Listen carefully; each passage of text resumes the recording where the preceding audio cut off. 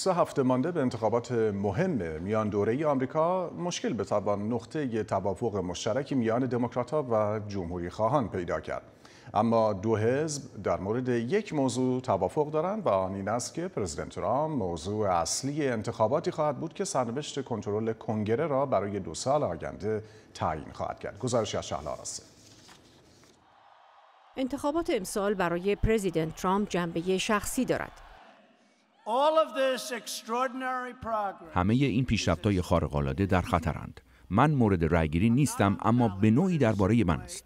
بنابراین بیایید بیرون و رأی بدهید.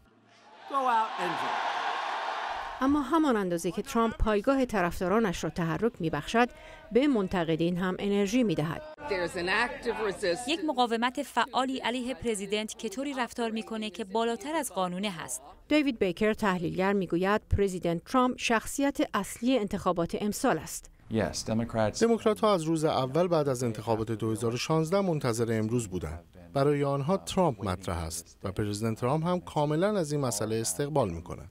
ترامپ یک روند برای ملی کردن انتخابات کنگره را تسریع بخشیده و او و هوادارانش این را حس می کنند. اگه شما این انتخابات رو تبدیل به یک رفراندوم ملی در مورد موفقیت برنامه پرزیدنت ترامپ بکنید، یک پیروزی روشن است و فکر می کنم که دموکرات ها خورد میشن. اما برخی ابراز تردید می کنند. می‌خوای انتخابات در مورد شما باشه؟ بسیار خوب. اما هر کاندیدایی باید حالا برای رفتارش حساب پس بده و بابت توییتاش دموکراتها می‌گویند ترامپ مشارکت بیشتر دموکراتها را موجب خواهد شد اما پرزیدنت ترامپ نگران به نظر نمی آید و به بسیج طرفدارانش ادامه می دهد. نام دونالد ترامپ روی ورقه های رأی نیست اما انتخابات ششم نوامبر آینده می تواند آینده ریاست جمهوری او را نیز شکل ببخشد. شهلا رستی صدای آمریکا